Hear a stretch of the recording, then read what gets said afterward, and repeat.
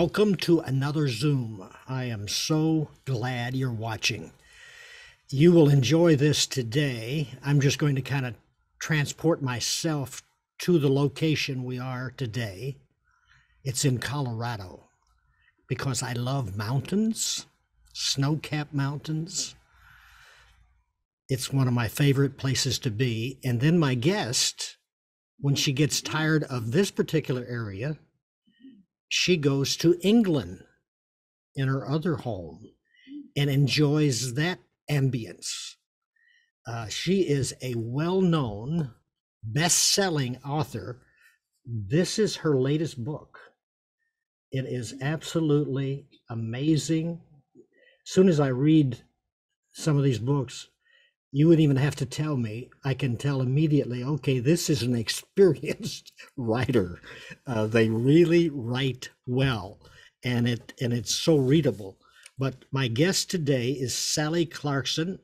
Uh, she's a ministry leader, inspirational speaker, and she is a beloved author. I, I, at one place, I believe she and her husband, uh, Clay, right? Uh, uh, Sally, you can come on now with me.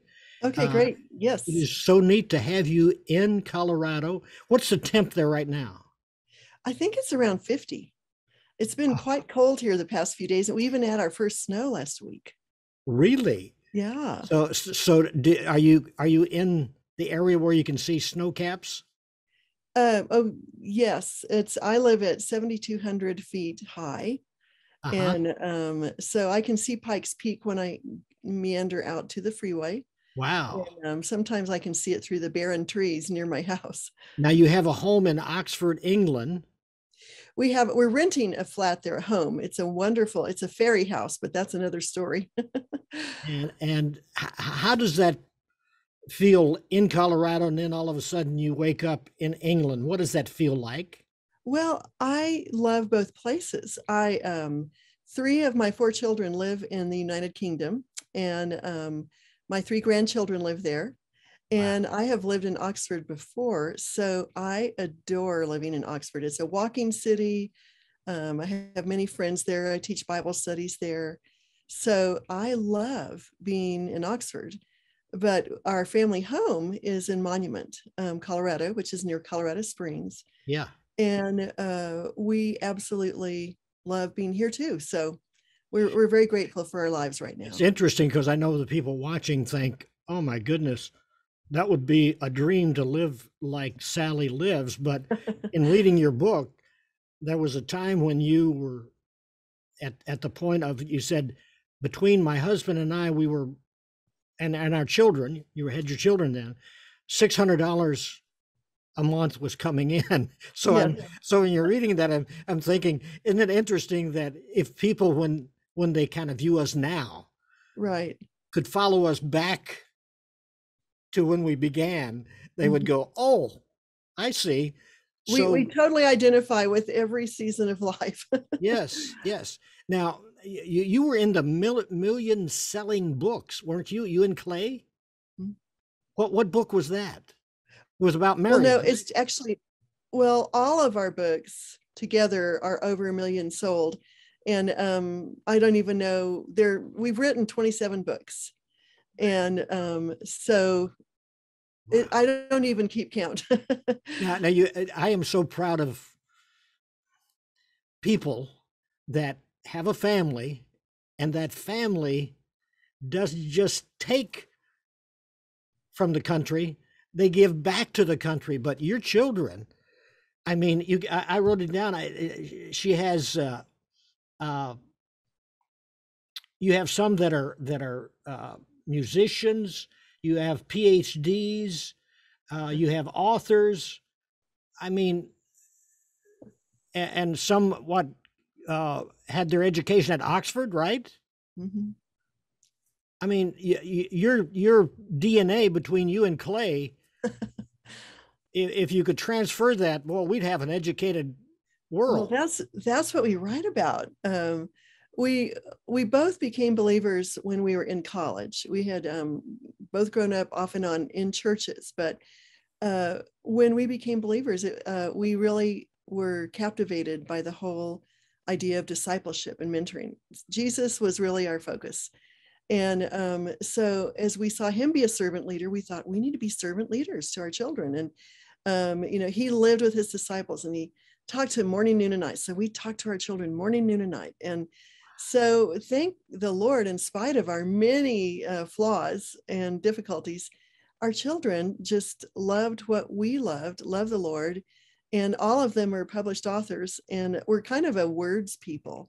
Um, no one would want us to do their accounting but um, we're happy to speak, to teach, to do arts and music, and that's kind of what they've turned out to be. They well, they, if, they if actually you, believed what we did in the home. if any of our viewers go on Google, you'll see all of the layout of every book. it is just amazing.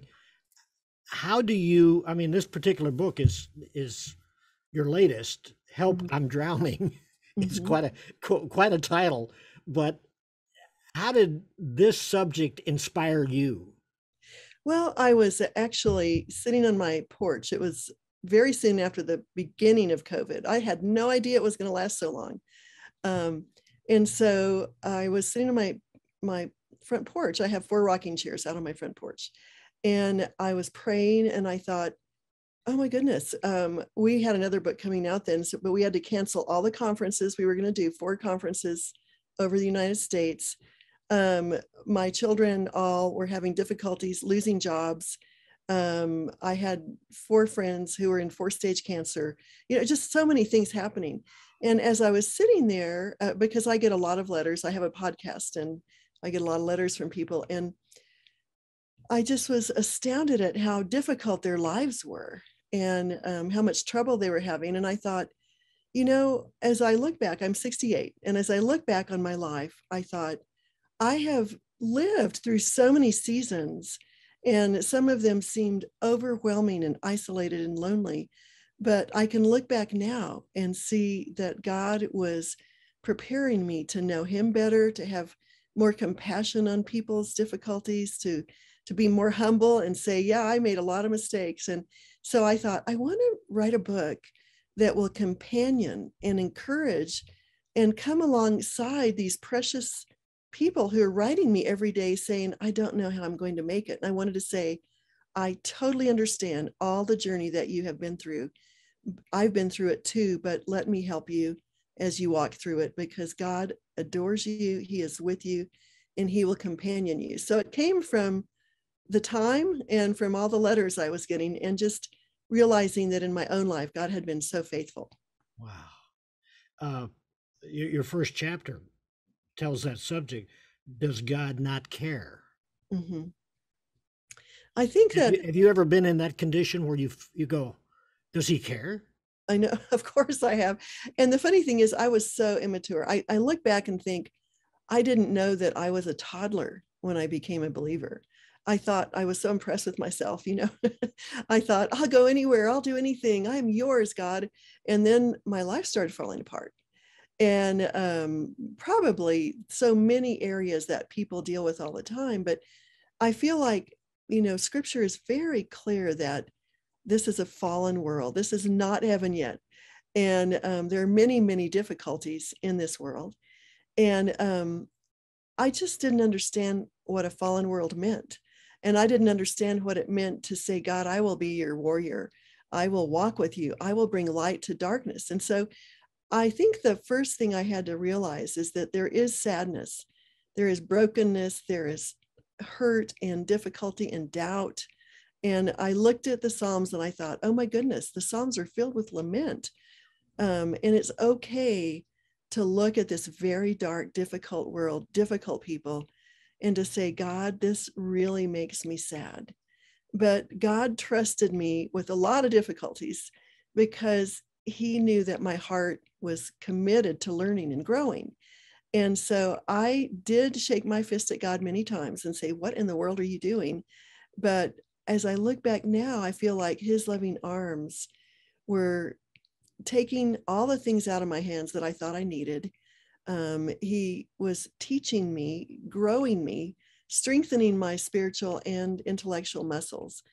And so I, I felt like I just wanted to pass on some of what I'd learned to all of these precious ones who felt so lonely and isolated and were having the same kind of doubts. Chapter four broken expectations. Mhm.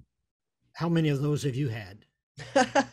well, too many to count, I think. Even uh, now, I just, um, I was living in Oxford. We are working with a church there, and we have a visa, which is impossible to come by. And I had to fly home to America to have a hip replacement. Now, that was not my expectation. and then I had a, a, a, cancer in my um, face that I had to have surgically removed twice. Um, you know, we all. And you said you Uh, just had hip surgery. I had the hip surgery and then I just had cancer surgery last week. um, and so we all are living in this broken place. And, um, but now, uh, uh, you know, I've learned so many wonderful things and I've realized that in every situation, God has met me and eventually shown me what, what was in that place for me at that moment.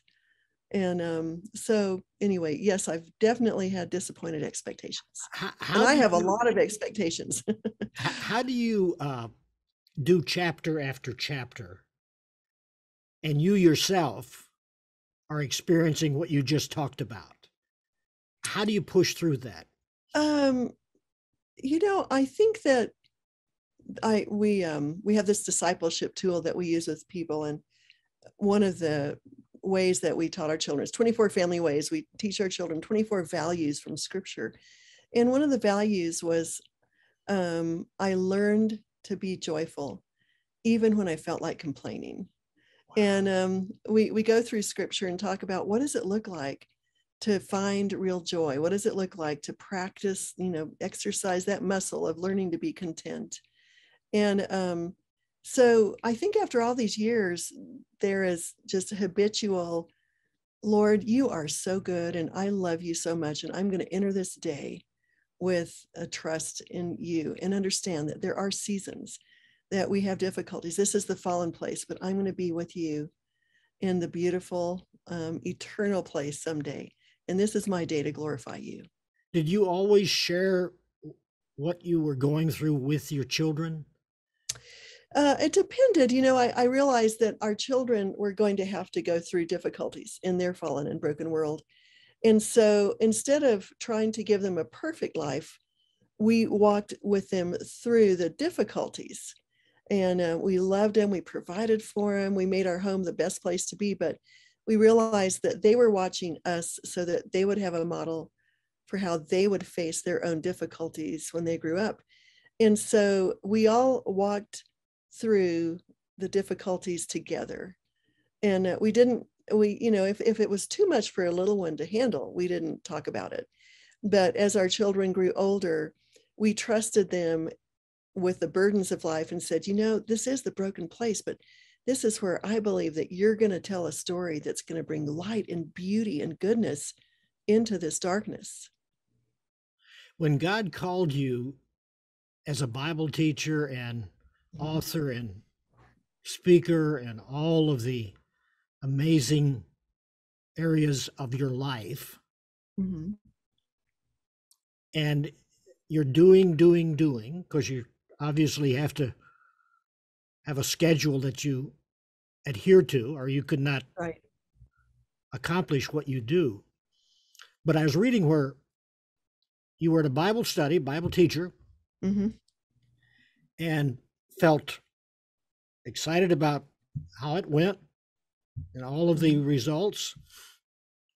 And you called Clay, and he said, I don't know what happened there, but one of your individuals in the Bible study called me and just ripped on you.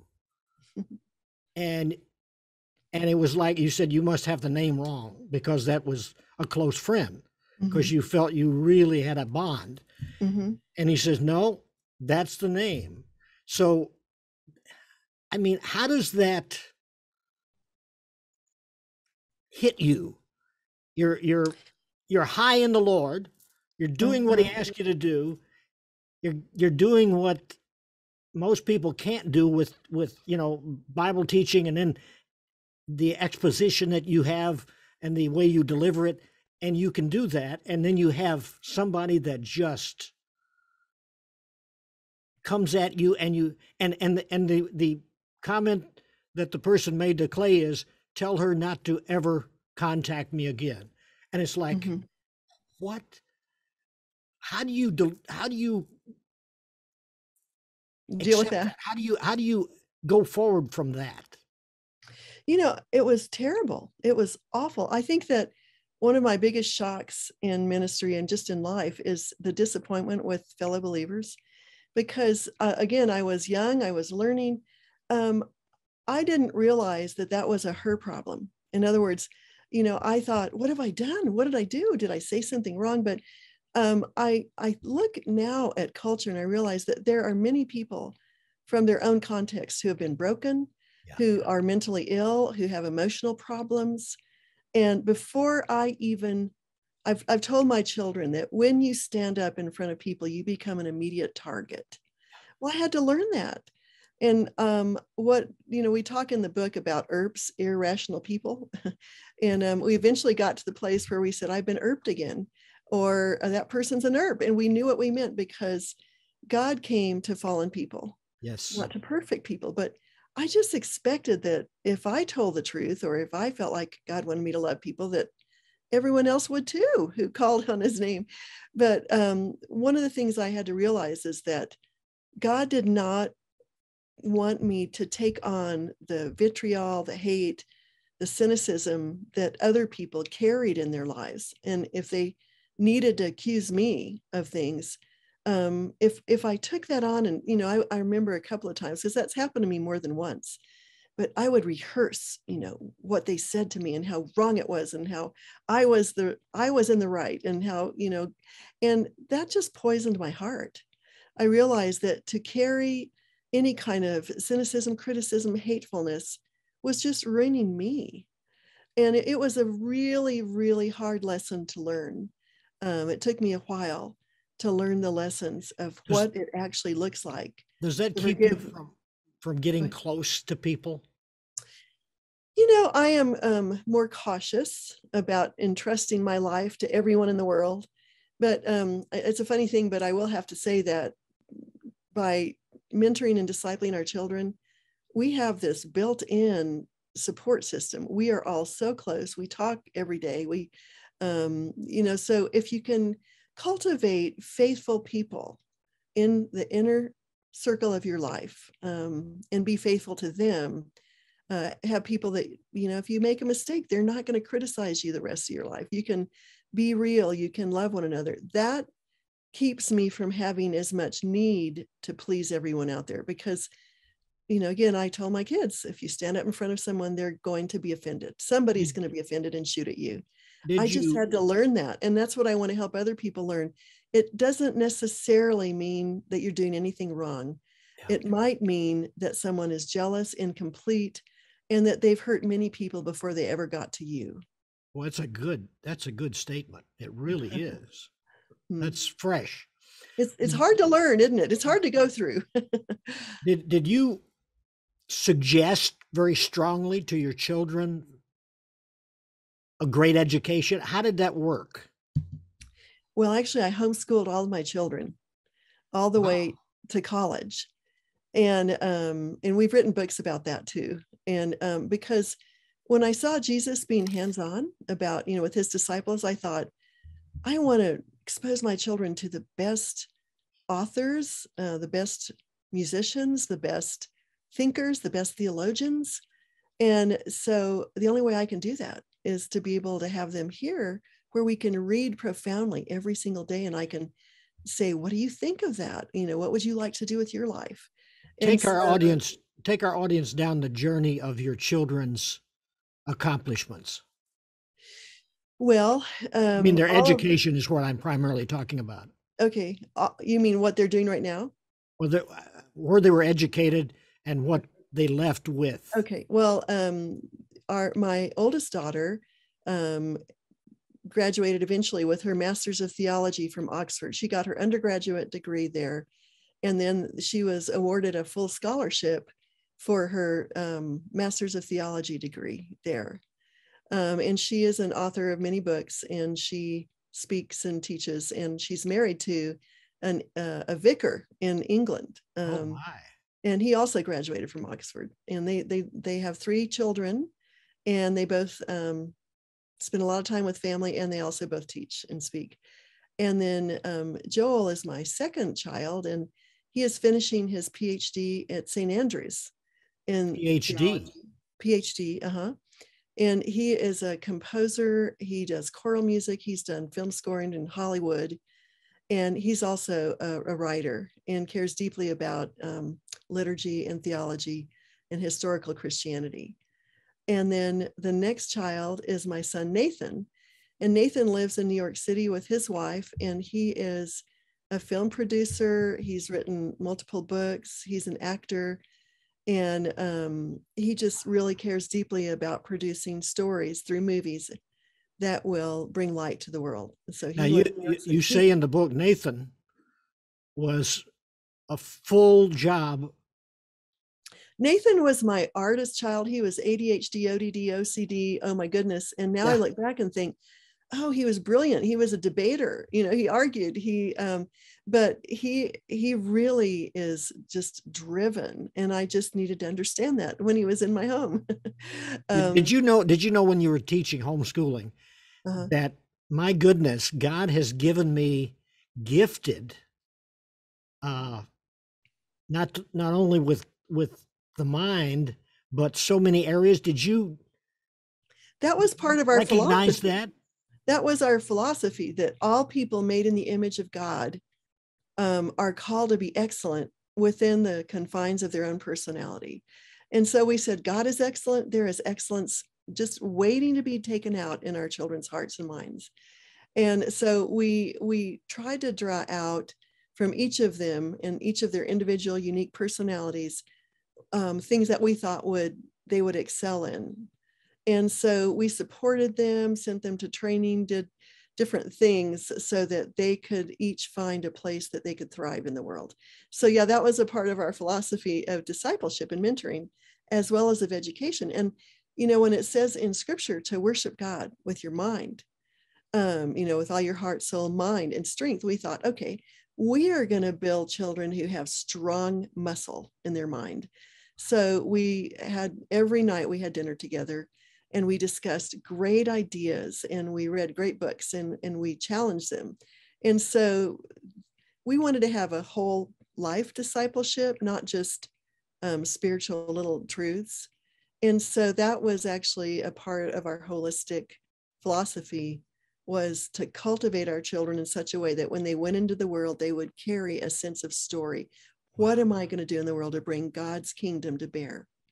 The the backstory of your life. Did you and Clay ever go through a time when divorce may have been the answer? You know, um, we both we were uh, we had a lot of difficulties. We are very different people, um, and we were very immature when we got married.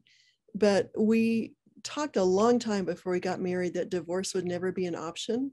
Ooh. And um, and so yes, there were really dark times. Um, I mean, you know, we moved 19 times, seven times internationally. We had four children, three miscarriages, car wrecks, hospitalizations, bills, um, differing personalities. We were exhausted.